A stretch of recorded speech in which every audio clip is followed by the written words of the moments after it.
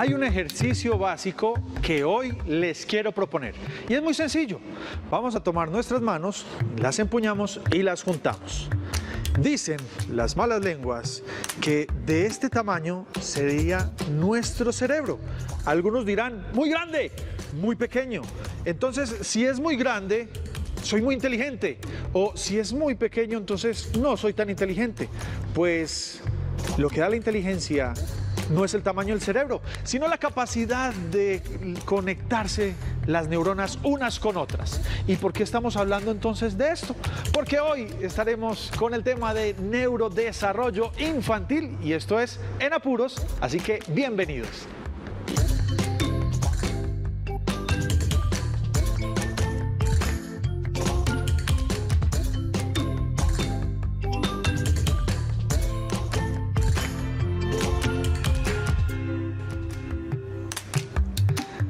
Como siempre, un día más donde estaremos compartiendo experiencias eh, con ustedes que nos están viendo desde sus casas, con quienes nos escriben, con quienes nos llaman y con nuestros invitados que tenemos cada día acompañándonos para enriquecernos en la crianza de nuestros hijos. Estoy nuevamente en el set Ando solito desde acá para tener todas las medidas de bioseguridad y Louis está en casa muy juiciosa cuidando a los suyos, cuidándose ella y permitiéndonos también eh, poder interactuar de una manera eh, distinta. Ya no estamos los dos desde la casa, sino que allá ella, aquí yo, aquí yo, allá ella y vamos a ver si ya tenemos conexión con nuestra presentadora. ¿Qué más Louis? ¿Cómo estás?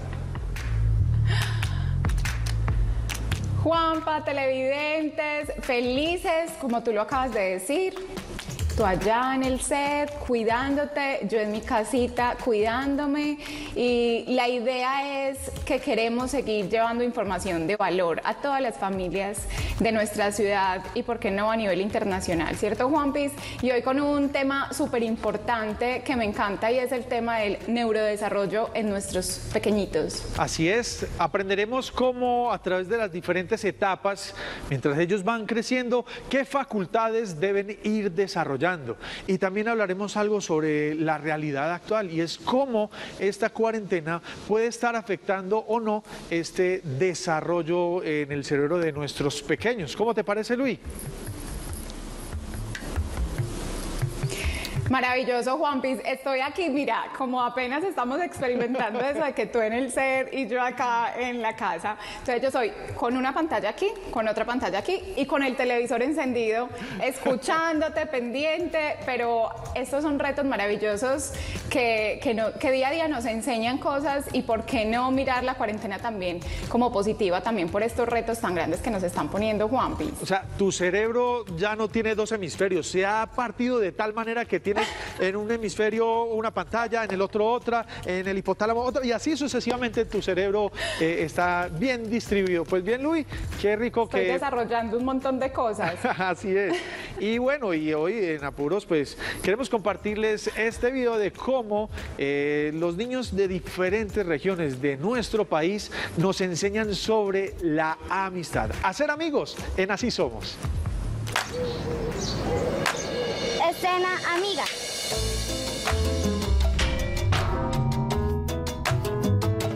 Hola, sí.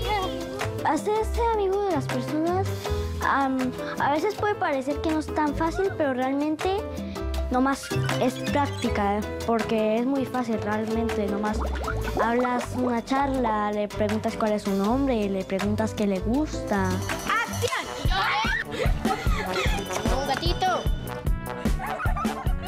Le damos un grande valor a nuestra amistad.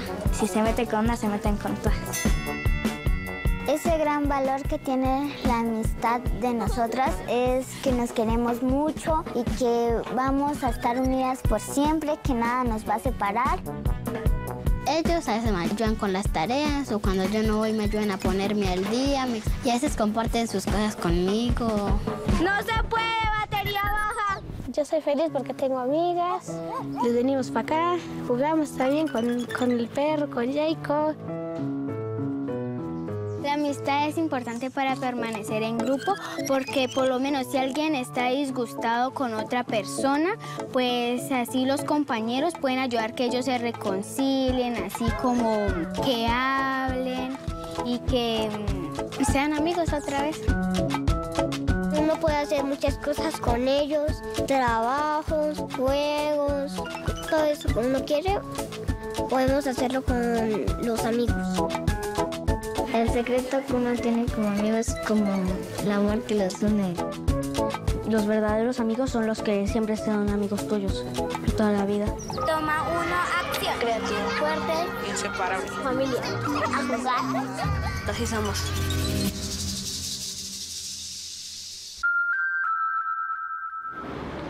Y así como estos pequeños nos comparten el significado de la amistad, queremos que ustedes también compartan con nosotros los mejores momentos que tengan con sus hijos, sea foto o video, y lo pueden hacer a través de muchas maneras que tenemos aquí en Apuros.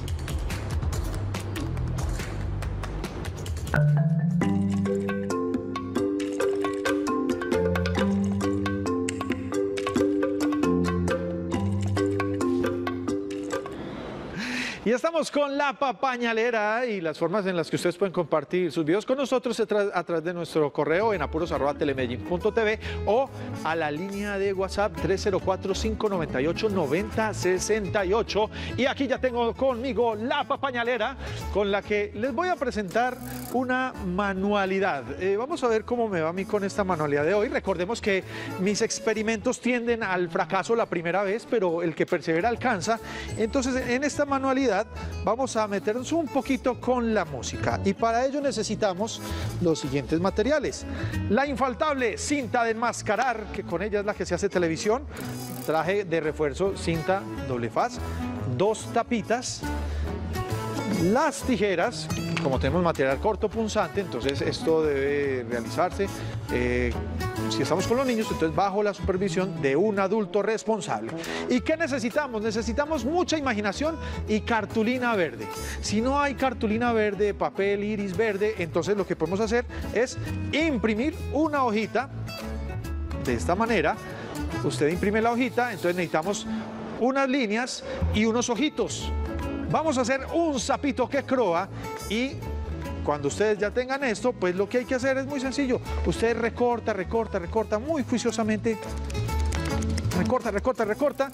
Y yo para ahorrar tiempo, pues me he adelantado un poco y les quiero presentar cómo recorté yo los ojitos y cómo recorté yo los rectángulos. Entonces, necesitamos los rectángulos, dos. Yo hice varios en la hoja como para optimizar la tinta. Entonces tenemos estos dos y lo que vamos a hacer es que los vamos a unir, dejando los colores ver- el color verde en ambos costados. Aquí está. En ambos costados el color verde. ¿Y cómo lo unimos? Pues con nuestra sagrada y mágica cinta de enmascarar. ¿Y qué hay que unir? Las puntas. Entonces en una punta, yo uno aquí. ¿Y por qué me encanta tanto esta cinta? Porque se corta facilito. Entonces ya tengo una punta pegada y ahora vamos a unir la otra punta nuevamente con cinta enmascarar para poder hacer entonces ¡ay! aquí ya casi hago un daño es que para estas cosas uno a veces es como mano dura pero no importa recordemos que hay que intentar e intentar muchas veces listo ya uní la segunda yo pues voy a corregir mi errorcito con las tijeras y fue que rompí un poco el papel, pero eso no interfiere. ¿Listo? Ya tenemos entonces ambos rectángulos unidos y ahora ¿qué es lo que vamos a hacer? Con la ayuda de la cinta doble vamos a partir un poquito y ahora vamos a partir otro poquito, dos cuadritos suficientes como para que cubran una tapita de esta manera y aquí entonces la voy a poner. Pongo ahí entonces la cinta y despego. ¿Y para qué es esta cinta? Para poner esta tapita en uno de los rectángulos que acabamos de cortar. Paciencia. Recordemos que para esto hay que tener mucha paciencia. Y abro entonces el rectangulito que corté. Ay, no, no es este, es este. Entonces, ¿qué hago? Lo pongo en la parte de abajo. ¡Ah! Se me fue la tapita. Listo, ahí tengo la tapita en la parte de abajo. Y ahora, ¿qué hay que hacer? El mismo procedimiento, pero con la parte ya de arriba. Entonces, nuevamente la cinta doble en nuestra tapita.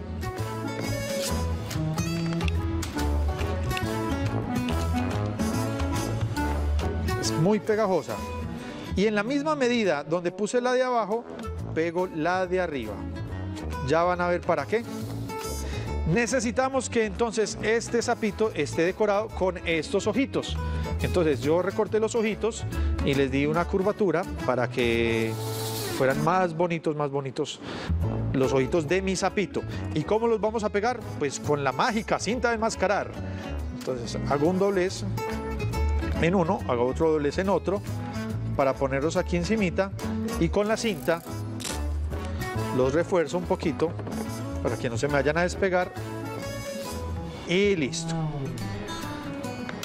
Vamos a ver si esto me funciona. Si no funciona, se colgará Quédate en casa, se colgará Noticias, queda, eh, siempre Fashion con Bea y solo será Padres en Apuros hasta que a mí me salga el sapito que croa. Entonces, ¡ey! Lo tenemos. Esto es un pequeño instrumento musical que podemos hacer con nuestros hijos. Bueno, de pronto ustedes no lo alcanzarán a escuchar como mucho, pero la calidad de la tapita nos brindará un mejor sonido. Pero usted puede cantar la canción de La Rana, de Cucú Cucú, cantaba La Rana. Y esto es una buena actividad para que usted pueda realizar con sus pequeños en casa. Espero que les haya gustado esta manualidad sonora y ahí tenemos una herramienta para aprovechar y enseñarle a nuestros hijos actividades distintas en esta cuarentena. Nos vamos a unos mensajes institucionales y ya regresamos con nuestra profesional en el tema para hablar sobre el neurodesarrollo infantil. Ya regresamos con Enapuros.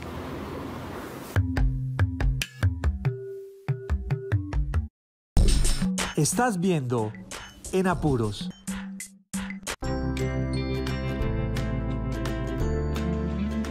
Hola amigos, les habla Federico Rivera y en esta ocasión voy a compartirles una pequeña anécdota como papá. Resulta que mi hijo, estando muy chiquitico, entre unos 5 o 6 años, se enamoró de un arco, un arco para lanzar flechas y él le decía tira flechas. Nosotros estábamos en dos ciudades diferentes y él me llama a saludar y eh, cuando ya íbamos a terminar la llamada, yo le digo, hijo, pero ¿por qué te vas a despedir de mí no me dices te amo? Y la respuesta es, papá, si no hay tiraflechas, no hay te amo. Así son.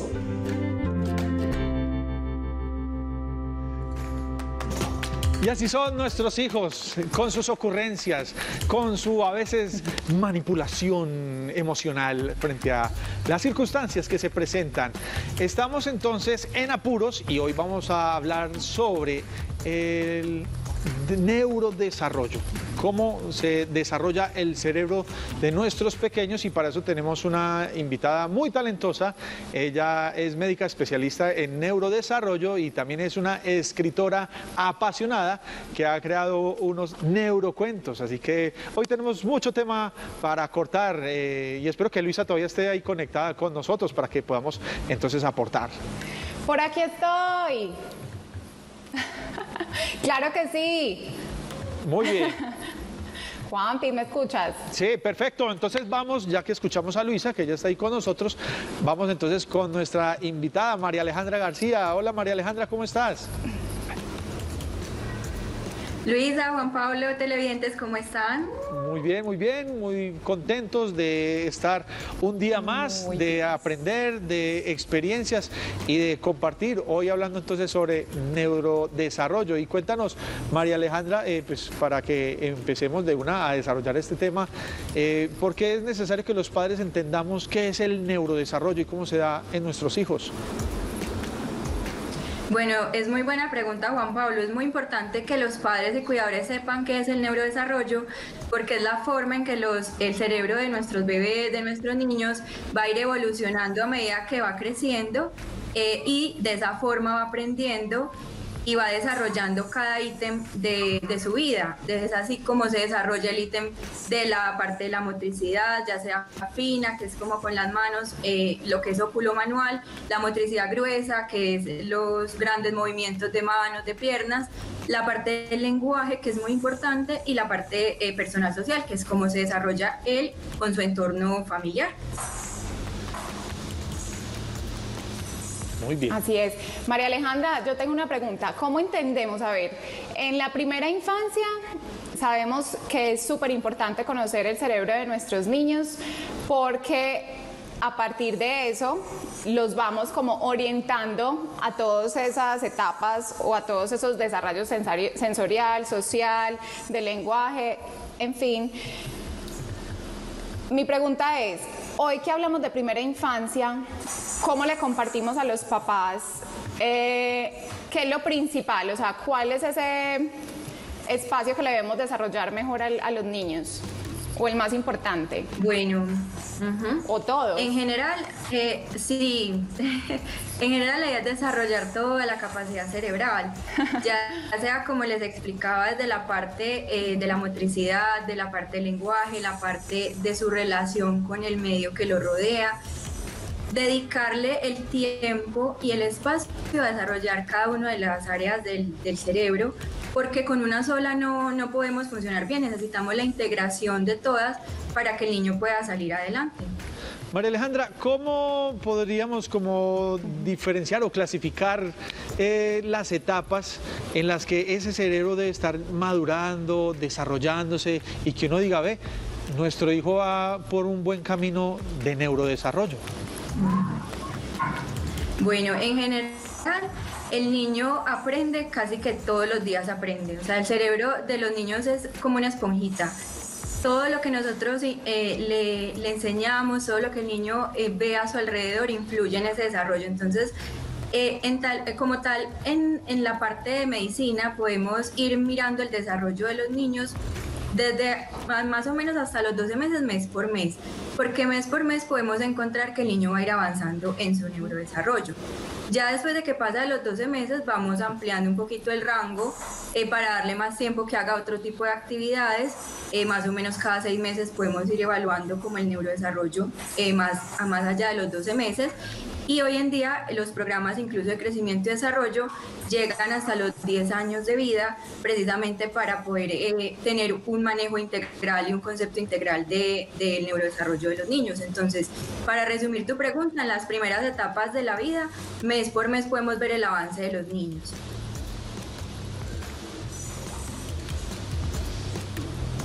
María Alejandra, hay unos factores ambientales que cuando uno lee del tema se encuentra, por ejemplo, que la nutrición tiene que ver, la estimulación obviamente, pero también mucho el tema de la afectividad. Yo quisiera que nos hablaras un poquito de esas tres.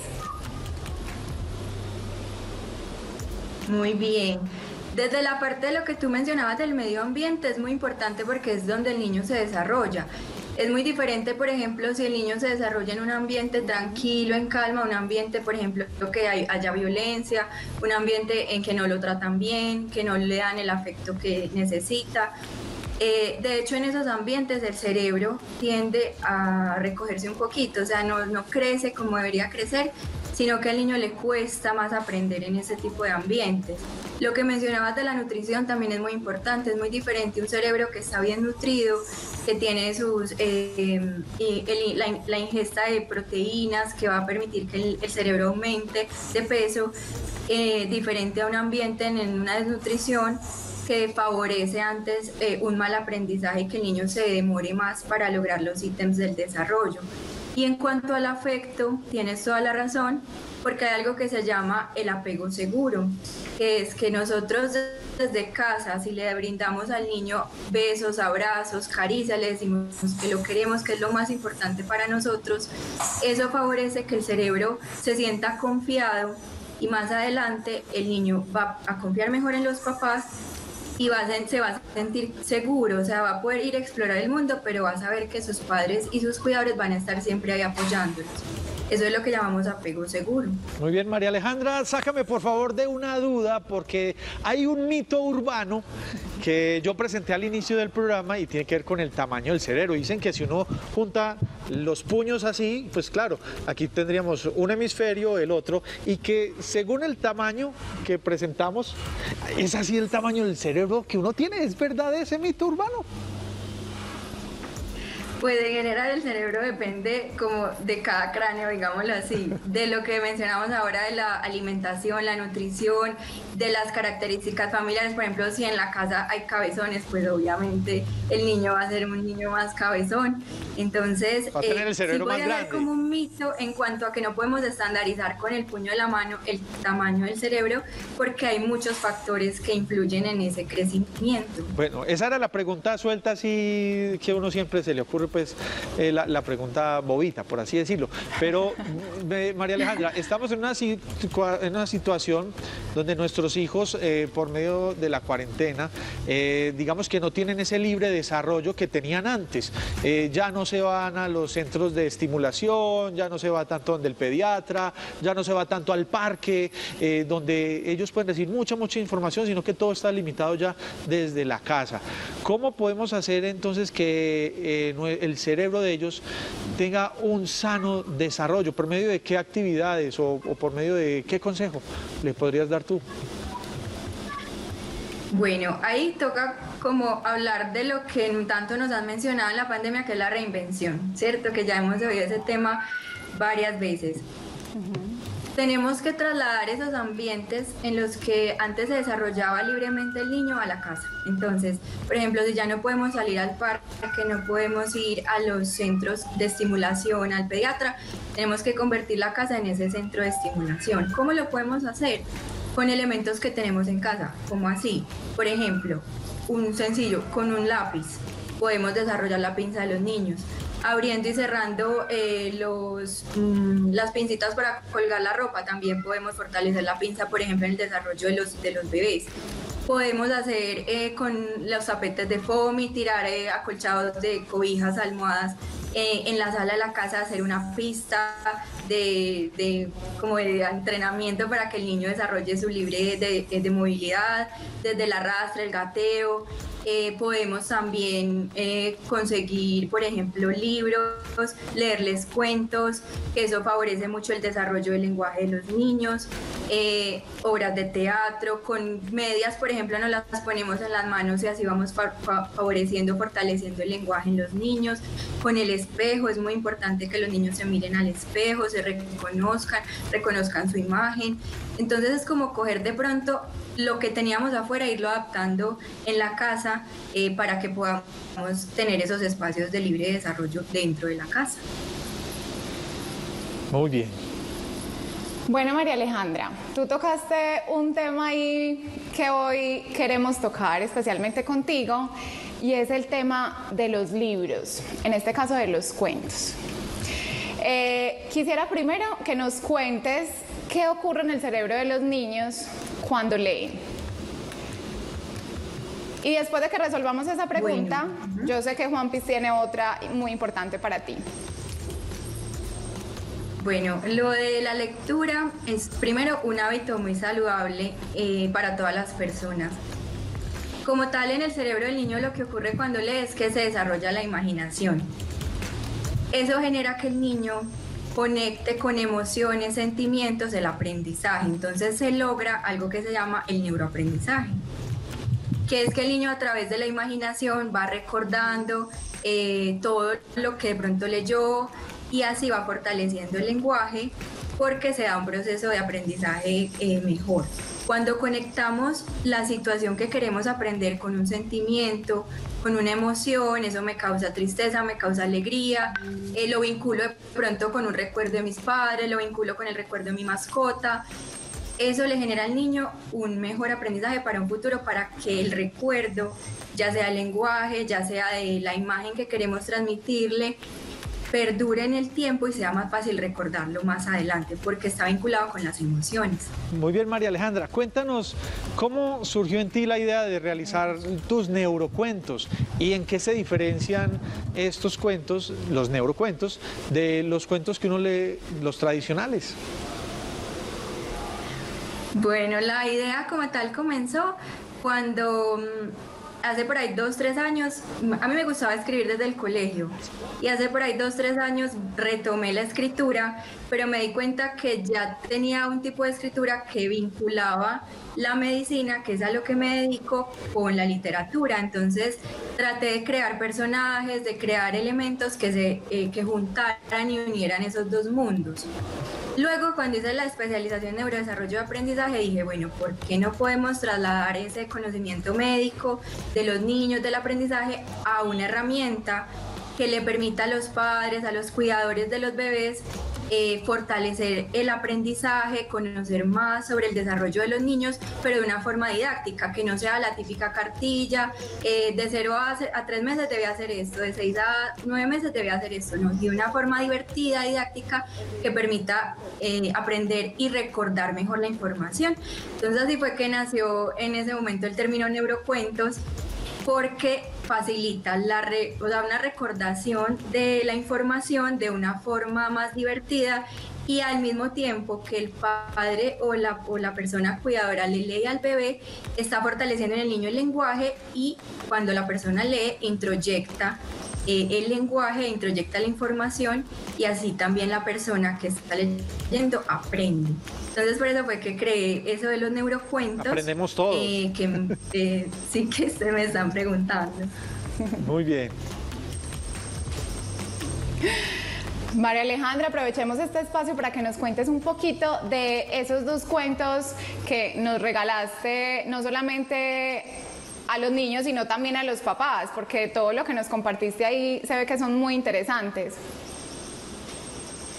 Mira, pues acá tengo uno, se los quería mostrar. Este es el que se llama Las Canguro Aventuras.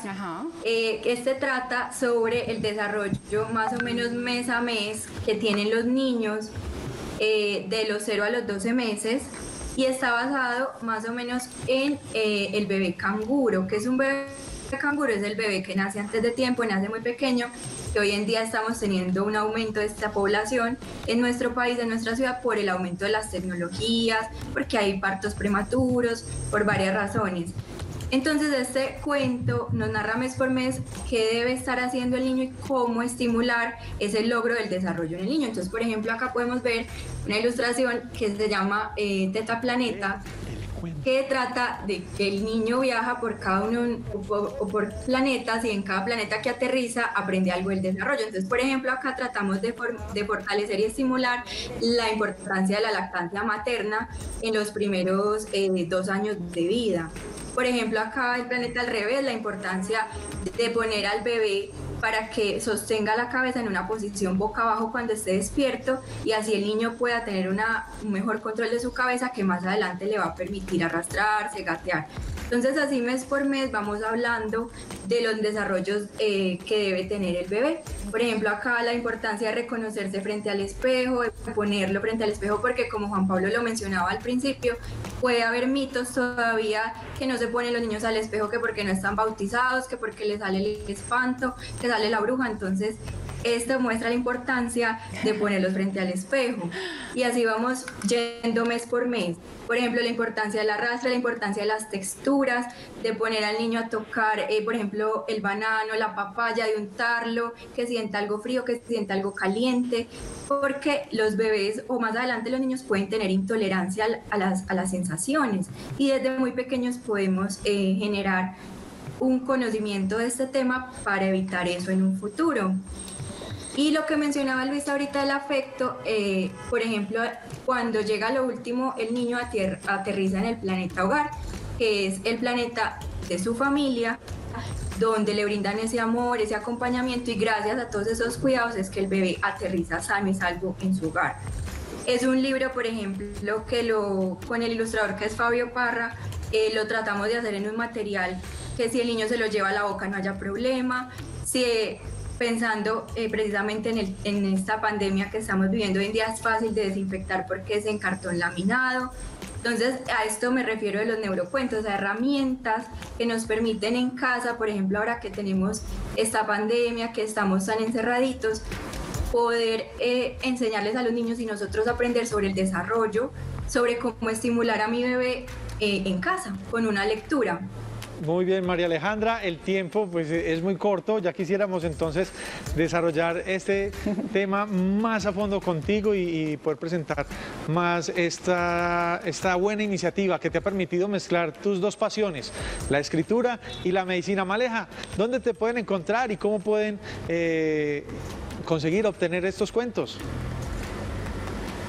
Claro que sí, Juanpa. Mira, me pueden seguir en redes sociales, en Instagram estoy como arroba malejaletras.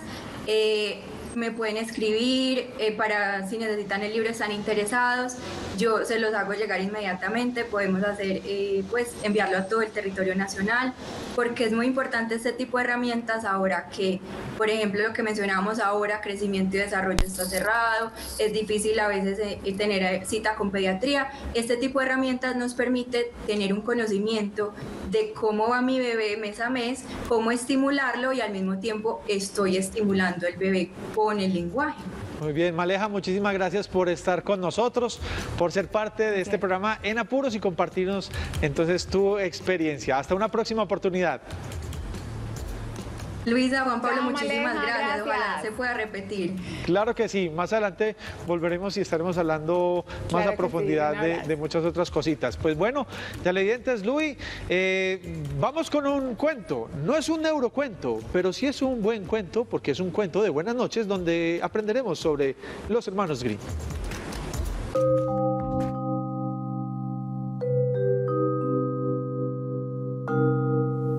¿Ya están listos para dormir?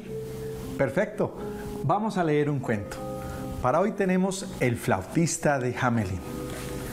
Había una vez una ciudad llamada Hamelin en la que sus ciudadanos no podían estar en paz a causa de una terrible invasión de ratones. Estaban en los graneros, en la calle, en las casas e incluso dentro de las cunas. El alcalde había intentado ahuyentarlos de todas las maneras posibles, pero no lo había conseguido y los habitantes ya estaban desesperados. Un día llegó a la ciudad un hombre de aspecto extraño, con una flauta en la mano, que se presentó diciendo, yo le traigo soluciones si me da una recompensa. Me llevaré a los ratones más pronto de lo que piensa. El alcalde, que habría dado lo que fuera por librarse de los roedores, aceptó inmediatamente. De acuerdo, acepto el trato. Si los ratones ahuyentas, te daremos recompensa. El flautista descendió y entonces fue hasta la plaza y comenzó a tocar su mágico instrumento. Piensen cómo sonaría la flauta. Frente a los ojos sorprendidos de los habitantes, hordas de roedores hipnotizados salieron de todos los rincones siguiendo la dulce música. Abandonaron la ciudad y se arrojaron al río. Por fin, los ratones se fueron de Jamelín. Cuando llegó el momento de recompensar al flautista como se había acordado, el alcalde y los ciudadanos presentaron mil excusas. Entonces, indignado, el flautista salió a la calle y entonó otra melodía. Esta vez fueron los niños los que acudieron y lo siguieron fuera de las murallas de la ciudad. Solo se salvó uno, que se había quedado atrás porque no había sido lo bastante rápido para alcanzar a los demás. A la mañana siguiente, el pequeño decidió ir a buscar a sus amigos y se dirigió hacia el bosque. Para sentirse acompañado por el camino, iba tocando la flauta que se había hecho con un trocito de madera.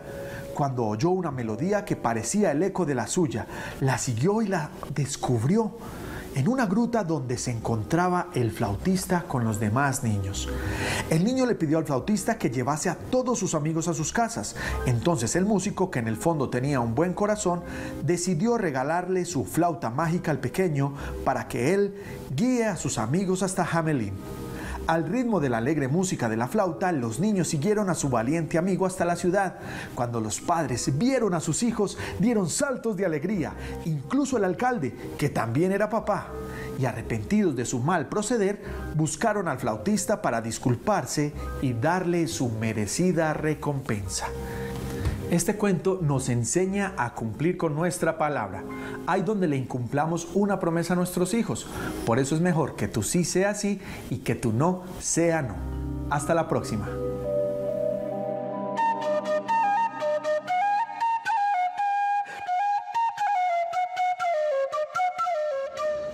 Bueno, esperamos que hayan aprendido algo de este cuento y como bien nos lo compartió nuestra invitada María Alejandra, eh, lo rico es poder leer cuentos en compañía, leerle los cuentos a los hijos y si no los tenemos, pues nos lo inventamos.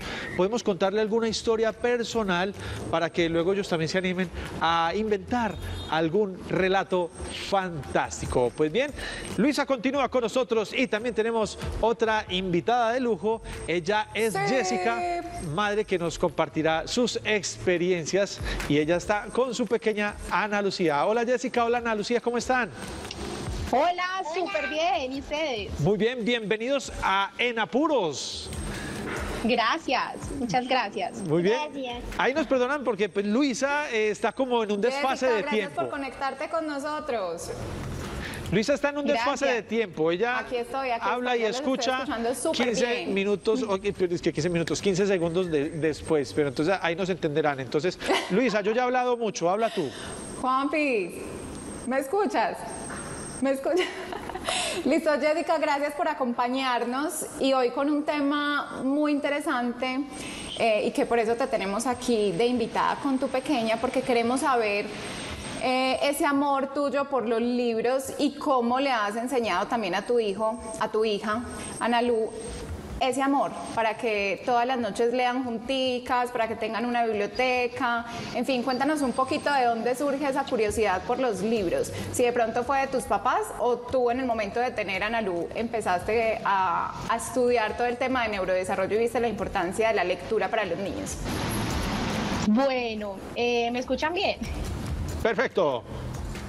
Bueno, ¿qué les cuento? Súper pues yo bien. soy comunicadora social y digamos que durante toda mi carrera, pues eh, fue como genuino, como ese interés por los libros, siempre me ha gustado leer, aparte que me encanta escribir también, entonces siempre he sido pues como una consumidora de libros desde siempre.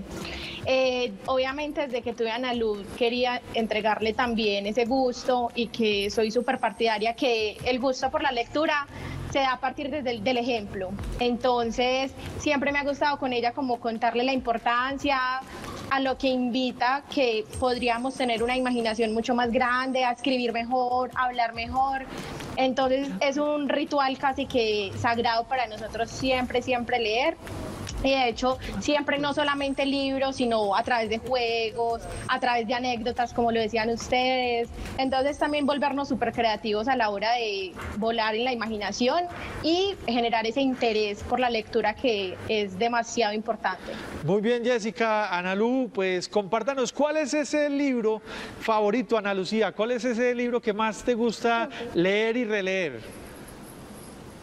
Sí. Bueno, el cuento que hoy vamos a leer se llama Ah, nos van a leer Cuentos para niños que se atreven a ser diferentes.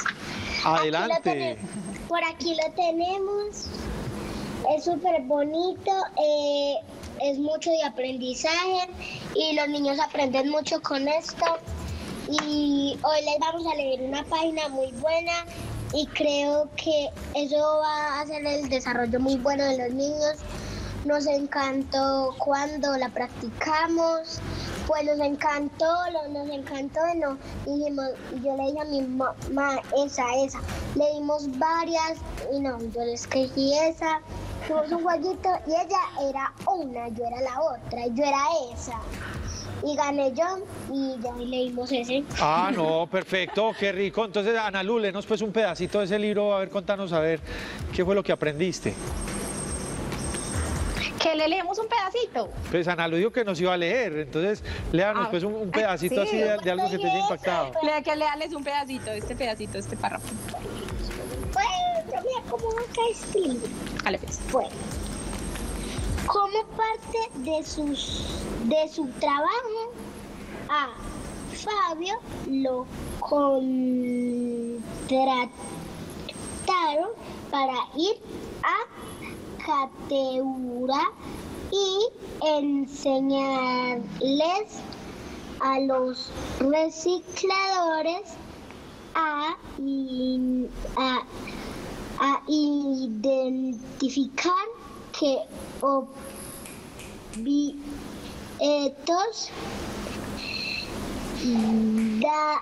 debían buscar y cuáles no. Cuen- Cuando estuvo ahí platico con los recicladores y les contó que trabajaba con una orquesta de jóvenes en otro pueblo. Ya mi amor, hasta ahí. Muy bien. Muy bien, Ana Lu, felicitaciones. Estoy como agregándole pues los espaciecitos ahí para escribir porque se me sale, me chueco a veces, pero voy bien, voy bien. Vamos bien, Ahí es va aprendiendo. Pero sí sé leer. Sí, nos consta. Jessica, Sí sabes leer y muy bien, por eso te por felicité, súper, qué rico. más o menos Eh, Qué belleza. Jessica, yo quisiera que le compartieras a todos los papás que están conectados con Enapuros, ¿cuáles son esos hábitos eh, y desde qué edad comenzaste a leerle a Ana Lu? Para que todos aprendan de estas buenas eh, disciplinas, como lo llamo yo. Bueno, Ana Lu, yo le leo desde que estaba en el vientre, siempre leía. Bueno, eh, esa es una, pues leerle desde que desde que ¿Tienen estábamos, una pues, hora de lectura en la noche? Lo otro es que desde bebecita siempre pues veíamos cuentos solo de imágenes. Eh, también hacemos muchísimos juegos, por acá de hecho también tenemos uno que es un juego para crear historias a través de la imaginación. Entonces, eh, siempre nos ha acompañado la lectura desde que nació, pues desde antes de nacer y hasta ahora que está aprendiendo a leer. Es algo que siempre hacemos y también en el colegio lo incentivan demasiado con cursos de plan de lectura. Qué bonito eso y qué chévere que estén inculcando desde muy temprano esta, mm, eh, digámoslo así, este hábito de leer. Ustedes no van a creer, pero los niños desde así sean muy, muy chiquiticos, el hecho de familiarizarse con el libro ese pastadura o el libro eh, favorito que lo rompan, ay, uno dirá, ay, por Dios, pero es que daño el libro. Pues sí, pero es una forma en que ellos se van a acercar. Jessica, un mensaje, el tiempo es muy cortico y ya nos vamos a ir como despidiendo. Eh, un mensaje que, que tú como comunicadora, como mamá, puedas llevarle a, a otros. Y si Analu también quiere decirnos un mensajito, adelante. Bueno, yo creo que la lectura es algo que se, que se da desde el ejemplo. Si nosotros lo hacemos, pues eh, va a ser como obvio que ellos también van a adquirir ese hábito. Eh, por favor, incluyamos siempre la lectura en nuestra vida, como lo decía ahora, eso nos favorece no solamente en la creatividad y en elevar nuestra imaginación, sino también en la forma de hablar, en la forma de escribir, en la forma de comunicarnos con el mundo. Entonces yo creo que la lectura es un pilar fundamental para el desarrollo social y cultural de estas personas. Y no sé, Ana Lu, ¿qué quieras Analu, decir? Analu, ¿quieres decir algo? ¿Un mensaje de despedida? Mm, Corto, un mensaje corto. Bueno, pues a mí desde chiquita me gustaba mucho la lectura. Desde pequeñita me ha gustado mucho, mucho, mucho. He tenido muchos libros de aprendizaje y creo que eso me ha, desarra- me ha des- Desarrollado. desarrollado mucho la mente. Genial. Y que eres una niña muy inteligente. Pues sí, obviamente, pero esos libros me hacen como en cuenta y pues aprendo más de esos libros. Muy bien. ¿Tu personaje favorito? Así, ¿cuál es tu personaje favorito? Frankenstein. Frankenstein. Y el que- Ah, y uno de, y uno de Frozen que tengo por allí. ¿Y el que no te gusta, el que, el que no es favorito? Uno que no me gusta casi, ¿Cuál? el de...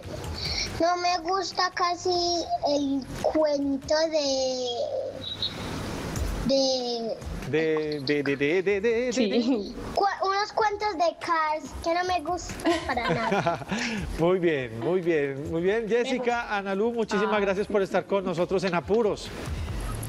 No, muchas gracias a ustedes por invitarnos. Un abrazo, chicas. Chao. Un abrazo y, a- y hasta la próxima. Y miren, llegó este sapo. Este sapo ha llegado, ¿sabes para qué, Luisi? ¿Para qué? Para decirnos que ya nos tenemos que despedir. Ah, lo bueno no dura. Ay, eso fue así, tan rápido, en serio. Sí, así, así rápido nos quedaron faltando notas y demás, pero qué rico haber podido compartir con nuestras invitadas, con todas ellas para aprender y disfrutar de sus experiencias. Juanpis, gracias. A todos los televidentes, gracias por conectarse. A todos ustedes, muchas gracias por estar en Apuros. Nos vemos en un próximo programa.